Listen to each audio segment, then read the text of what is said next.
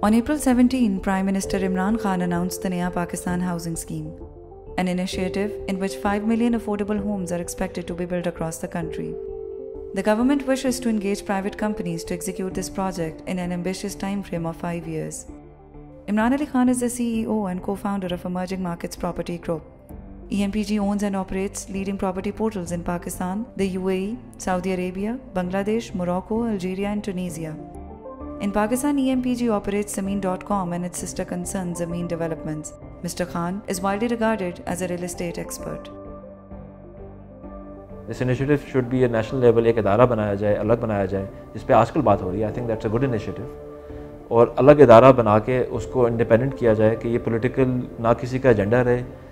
نہ کسی کی پولیٹیکل وکٹری رہے it should be done independently of politics اس ادارے کو جو چلانے کے آگے چیلنجز ہیں، وہ کون لوگ چلائیں گے؟ اس کو بھی انشور کرنا پڑے گا کہ اس میں پولیٹیکل بھرتیاں نہ ہوں۔ اس میں وہ لوگ ہیں جو کہ قابل ہوں۔ ایک ایسے لوگ ہیں جو آپ کو ٹیکنوکریٹس بھی ملیں گے جو کہ ایکسپیرینس بہت رکھتے ہیں۔ جن کو پتہ ہے کہ جی برازیل میں کیا ہوا، انڈیا میں کیا ہوا، فلپینز میں کیا ہو رہا ہے، مثال کے طور پہ۔ تو وہ لوگ بھی کچھ چاہیے اور کچھ لوگ آپ کو وہ چاہیے جو یہ کام کر بھی چکے ہوں آپریشنلی بھی کر چکے ہوں۔ خالی ایک ماڈل بنا کے یہ چیز چلانا بہت مشکل ہوگا۔ آپ کو لوگ ایسے چاہیے جو کہ جب آپ کسی کسی اور ملک کا ماڈل لے کے یہاں پہ چھاپتے ہیں اور چلانا شروع کرتے ہیں، تو اس میں ہر مہینے آپ کو نئے چیلنجز آئیں گے۔ اس کو لوکلائز کرنا ہے آپ نے۔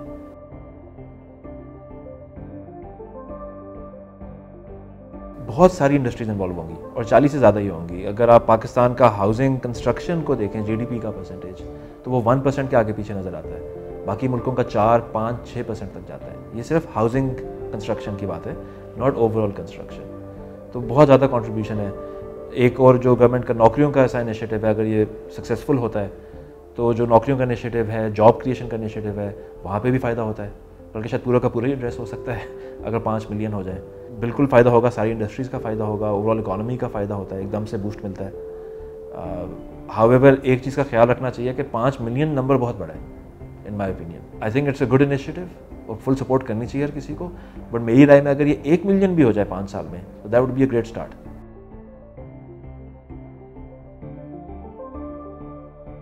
home loans کا کانسیپٹ بہت ہی کم ہے نہ ہونے کے برابر ہے اس کا ایک سب سے بڑا ریزن یہ ہے کہ فور کلوجر میں عموماً چھ سے سات سال لگ جاتے ہیں کورٹ میں فور کلوجر سے مراد یہ کہ اگر بینک سے لون لے کے ایک پراپرٹی خریدی ہوئی ہے مارگیج پہ اور وہ جو پراپرٹی ہے کوئی اگلا بندہ پیسے نہیں دے رہا تو بینک اس کا کچھ چھ سات سال لگ جائیں گے وکشن کے یا پورا پروسیس فور کلوجر کا کرنے کے۔ اس کے لاس بنے ہوئے ہیں۔ اس کی امپلیمنٹیشن اور پروسیس کئی بار کافی لمبا ہو جاتا ہے۔ تو اس کے اوپر فور کلوجر کے اوپر کچھ کرنا چاہیے، جلد کرنا چاہیے۔ اور اس کے اور بھی فورمز ہوتے ہیں ناٹ نیسرلی لیگل ہوتا ہے کہ کورٹ ہی جانا ہے کورٹ کے علاوہ الگ فورم بھی بن سکتے ہیں۔ انڈیا میں بنے ہوئے ہیں، دو ہزار دو دو ہزار تین میں بنے تھے۔ تو اس کے کافی سارے ماڈلز ہیں جو کہ سب ہر کسی کی نالج میں تو ہے لا میکرس کی۔ اور اس پہ آئی تھنک اگر جلدی کام ہوگا تو ہوم فائنینس کا پورا جو سسٹم چل سکتا ہے، اس کی وجہ سے کافی زیادہ اس میں پوری انڈسٹری میں بہت فائدہ ہو سکتا ہے۔ باقی جو آپ لیگل بات کرتے ہیں ریئل اسٹیٹ کے حوالے سے، تو یہاں پہ ریگولیٹری اتھارٹی نہیں ہے۔ ریگولیٹری اتھارٹی یہ کریٹ کی جا سکتی ہے۔ It's not just a regulation کہ جی بائی لاس کے اوپر دیکھنا ہے سارا رائٹ یہ سارا جو پروسیس چلنا ہے، اس کے اوپر ریگولیشن بائی لاس کے علاوہ بہت ساری چیزیں آ جاتی ہیں۔ اس میں آپ کی پرائسنگ کی چیزیں آ جاتی ہیں۔ اگر آپ دبئی میں چلے جائیں تو وہاں پہ ریگولیٹری اتھارٹی پرابلی ہمارے خطے میں it's one of the most advanced اور موسٹ ویل ڈیولپڈ کافی ایوالو کی ہے۔ تو ادھر اس میں ٹیننٹ کی پروٹیکشن بھی ہے کہ رینٹ کوئی بہت زیادہ نہ بڑھا دے رائٹ اگر بہت کم ہوگا تو لینڈ لارڈ کی پروٹیکشن بھی ہے وہاں پہ۔ تو بہت ساری چیزیں اس میں آ جاتی ہیں ریگولیٹری اتھارٹی میں، جو کہ اس پوری چیز کو زیادہ ریگولیٹ کریں گے تو اسے اوور آل انڈسٹری کو فائدہ ہوگا لانگ ٹرم سپلائی ڈیمانڈ کی بات ہو رہی ہے یہاں پہ۔ ابھی ہمارے پاس سپلائی ہے، ڈیمانڈ میچ کرتی ہے۔ سیمنٹ کی مثال لے لیں، اگر ساڑھے پانچ سو روپے کا ایک بیگ مل رہا ہے آپ کو، تو ایک دم سے بہت زیادہ سیمنٹ چاہیے آپ کو۔ ایک دم سے اگر بہت زیادہ سیمنٹ چاہیے، مارکیٹ میں نہیں ہے تو قیمت بڑھے گی۔ مگر قیمت کتنی بڑھے گی؟ اگر آپ کی امپورٹ کرنے کی کاسٹ باہر سے، چائنا سے یا کسی اور کنٹری سے یا مڈل ایسٹ سے اگر سیمنٹ کی کاسٹ فرض کریں سات سو، ساڑھے سات سو ہے، تو اس سے زیادہ تو نہیں جائے گی۔ وہ تو امپورٹ ہو سکتا ہے اتنے پہ۔ اور یہ جو امپیکٹ اگر کوئی آئے گا بھی تو یہ شارٹ ٹرم امپیکٹ ہے۔ اگر ایک چیز کی ڈیمانڈ بڑھ رہی ہے اور انڈسٹری اس کو پورا نہیں کر سک رہی سپلائی کو، تو انڈسٹری خود اس میں انویسٹ کرے گی۔ کیپیسٹی بڑھائے گی فورن انویسٹمنٹ آئے گی۔ کیونکہ لوگوں کو جب باہر سے نظر آئے گا کہ اس ملک میں ڈیمانڈ ہے اس پروڈکٹ کی، تو everybody would be attracted وہ آئیں گے یہاں پہ یہاں پہ آ کے وہ بھی کام کریں گے۔ تو آئی تھنک یہ اگر کوئی اس پہ امپیکٹ آئے گا کہ جی قیمتیں بڑھ گئیں، تو یہ چیز نارملائز ہو جائے گی۔ یہ مارکیٹ فورسز کام کریں گی کہ جی سپلائی ابھی کم ہے سپلائی پہ بڑھے گی۔ Because is a market for it اور مارکیٹ سسٹینیبل ہوگی اس کی. اگر ایک چیز چل پڑتی ہے اور ہر سال آپ کے پانچ لاکھ، چھ لاکھ گھر اگر نئے آ رہے ہیں، تو یہ سسٹینیبل چیز ہے، لوگوں کو نظر آ رہا ہے کہ یار اس کے پروجیکشن صاف صاف نظر آ رہے ہیں کہ ہر سال ہونا ہے، تو اس میں انویسٹ کیا جا سکتا ہے.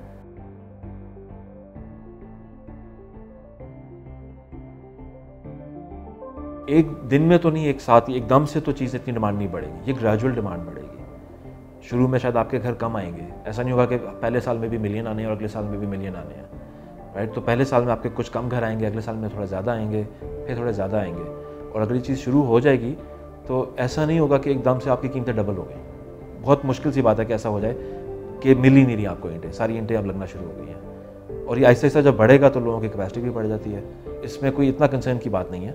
اگر کوئی دس پندرہ بیس پرسینٹ بڑھے گا تو لانگ ٹرم میں وہ نارملائز بھی ہو جائے گا۔ لانگ ٹرم سے میرا مطلب ہے کہ اگر اس سال بڑھتی ہے قیمت تو دو تین چار سال میکسیمم یہ قیمتیں واپس بھی آ جاتی ہیں۔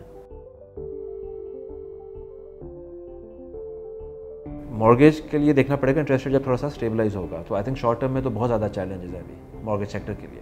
تو اسٹیٹ بینک کا انیشیٹو ہے، بہت اچھا انیشیٹو ہے۔ پچیس لاکھ تک کی پراپرٹی ہے اگر تو اس پہ دے رہے ہیں آپ کو۔ مگر اس پہ ایشوز یہ ہیں کہ پھر بینک اسے ڈیل نہیں کرنا چاہتے۔ کیونکہ بینک کو بندہ وہ چاہیے جو کہ بینکڈ ہو سیلریڈ ہو، بینک اکاؤنٹ میں سیلری آ رہی ہے۔ اگر کوئی بندہ کسی دکان پہ کام کر رہا تھا اور وہ پچیس تیس ہزار روپے کیش لے رہا تھا دکان کے مالک سے، تو وہ بینکس کو اس کی نہ سمجھ آتی ہے، نہ وہ اس کے ساتھ پھر کام کرنا چاہتے ہیں۔ کیونکہ ہمارے ملک میں بینکنگ اور سیونگ اور ان کے اوپر کافی آپ کو نظر آئے گا کہ ریلیجیس ریزنز ہیں جو کہ لوگ انٹرسٹ میں نہیں جاتے۔ سیونگ پروڈکٹس میں بھی لیں گے تو وہ کمیٹی ڈالتے ہیں۔ اور کمیٹی ڈال کے پھر وہ اس کو اس طرح سیو کر رہے ہیں پیسے۔ تو ہم نے ایک سروے بھی کیا تھا، یہاں پہ ایک ہوا بھی تھا، ہمارے آفس میں بھی ہوا تھا سیونگ پروڈکٹس کے اوپر مثال کے طور پہ۔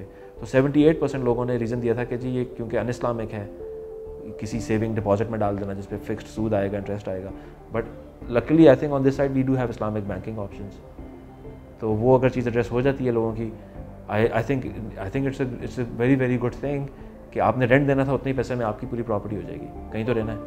تو I don't see any issues with it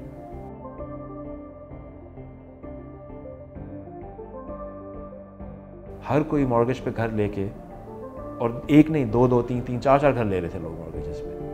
تو اس سے کیا ہوتا ہے، ایک آرٹیفیشیل ڈیمانڈ کریٹ ہوئی ہوئی تھی۔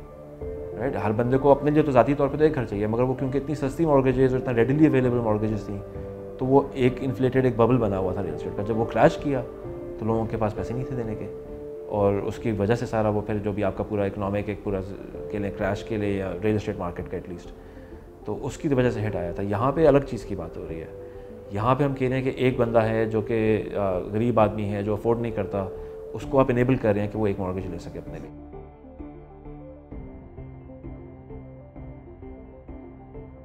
سو پاکستان میں نان پرفارمنگ لونز جو ہیں، ہمارے ریئل اسٹیٹ کے سیکٹر آل دو اتنا چھوٹا ہے اس میں کافی زیادہ ہیں رائٹ اور اس کی ریزنز یہ ہیں کہ اس کے اوپر کوئی اکاؤنٹیبلٹی نہیں ہے نا۔ تو وہ تو پھر اگر فور کلوجر فریم ورک ٹھیک ہے، آپ کا لیگل اسٹرکچر ٹھیک ہے، تو اس پہ پھر اکاؤنٹیبلٹی بھی تو آئے گی جو نہیں دے رہا۔ تو وہ پھر فور کلوز ہوگا۔ اگر چھ مہینے سال کے اندر وہ پراپرٹی پھر ضبط ہوگی، اگر وہ کوئی نہیں دے رہا آپ کو اس پہ، تو اس سے بینکس کی کمفرٹ بنے گی۔ بینکس کو ابھی اس طرح فورس تو نہیں میں کہوں گا کیا جا رہا ہے، مگر کل کو ایسے بینکس کے اوپر لیجسلیٹ کیا جا سکتا ہے کہ جی ایک بینک کی بکس پہ پانچ پرسینٹ جو ہے وہ ہوم فائنینس میں ہوگا۔ یہ باقی ملکوں میں کیا گیا ہوا ہے پہلے؟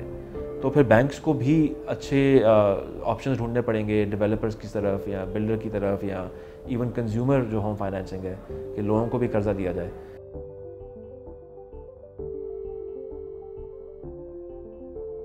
آئی تھنک اس میں سب سے امپورٹنٹ یہ ہے کہ صحیح سسٹم اور پروسیس بنائیں۔ ڈیپولیٹیسائز کریں اور سسٹمز اور پروسیسز بنائیں۔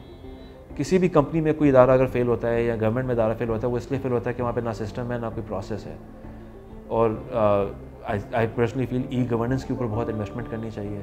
ای گورننس کے ذریعے آپ کو سارے سسٹمس پروسیسز بنانے چاہیے، جس سے ٹرانسپیرنسی بھی آئے گی، ہر کسی کو نظر آئے گا۔ اگر کوئی اس میں کمپلین ڈال رہا ہے، کوئی اپلیکیشن ڈال رہا ہے، پورا پروسیس نظر آئے گا آپ کو۔ اس میں آپ کا یہ بھی نظر آئے گا کہ جی جو دو دن میں یا چار دن میں جواب ملنا تھا، ملا کہ نہیں ملا، سب چیزیں میجر بھی ہو سکتی ہیں۔ So it has to be driven on systems processes اور I think not just this new نیا پاکستان کا جو ایک انیشیٹو ہے generally this is to for all institutions ہر جگہ کام بھی ہو رہا ہے، مگر شاید اور بہتری سے اور تیزی سے بھی ہو سکتا ہے۔ And that is probably the answer to many issues which we face in Pakistan right now